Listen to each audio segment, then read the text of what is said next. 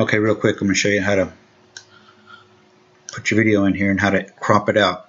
Say for the first five seconds you didn't want to record that or show that on your upload to YouTube or wherever you put your video. Uh, say you were just stumbling or you're trying to get ready.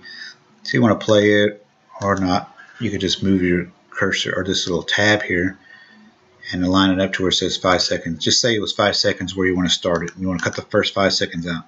You adjust it, you played it, and you know that's where you want to start. You come over here and you hit set start point. This is in the edit now. You may be at home, put it on, make sure you're on edit. Come here, adjust, hit start point. All right.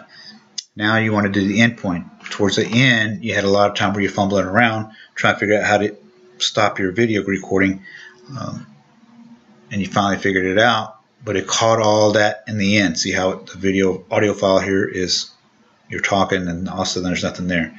So you click on it, grab this here, and you play your video, and you make sure that's exactly where you want to end it.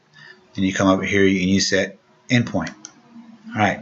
Now you're left with the portion of the video that you want to uh, work from. You can edit, you can add your titles, your credits, your captions, anything you want to do with this video. This is the meat of the video that you want to upload to YouTube or wherever it is you want to send it.